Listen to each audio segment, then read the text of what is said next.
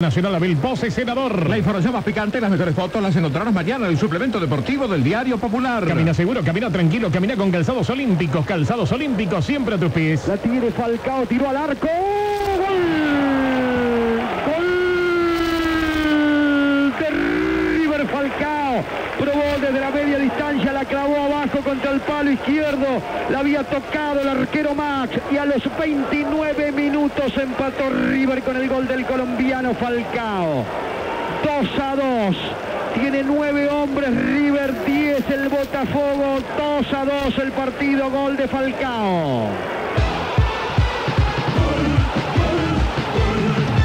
Tiene nueve, dijo Lito, tiene 10 Botafogo, dijo Lito. Digo yo, hay que hacer dos goles más en 15 minutos.